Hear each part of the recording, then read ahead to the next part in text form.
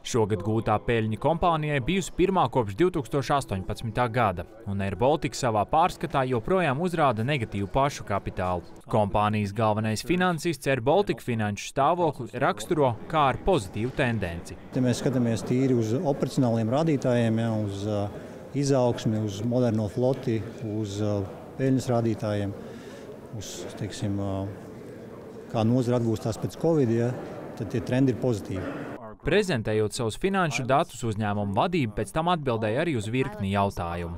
Lielākā daļa no tiem bija par to, kā Air Baltica jau vasaras sākumā plāno pārfinansēt 2019. gadā emitētās obligācijas. Viens variants ir šis privātais parāda kapitāls, kur uh, iet, notiek sarunas lieliem fondiem, kas uh, pēta detalizētu iespēju, uz kādiem nosacījumiem ieguldīt.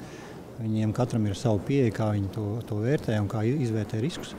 Nu, un otrs variants ir iet atpakaļ uz publisko tirgu un tātad publiskajā tirgu emitēt šīs obligācijas. Pēc Jakovļeva teiktā finansējuma sniegšanā teorētiski varētu piedalīties arī valsts, taču tikai ar tirgus nosacījumiem. Plašākus skaidrojumus par obligāciju pārfinansēšanu Air Baltica sola aprīlī.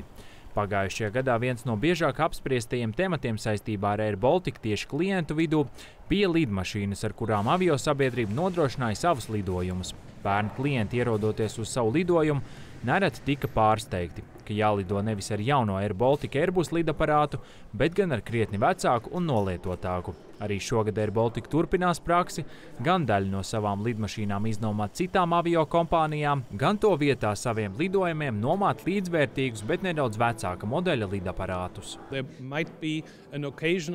Varbūt gadījumi lidojumos, kad kādam ir Airbus A319 ar tādu pašu vietu skaitu. Tāds ir pašreizējais plāns, ja dzinēja prognoze paliks tāda, kā ir. Tātad nevis pagājušā gada situācija, bet uz vasaru noslēdzam līgumu par divām lidmašīnām.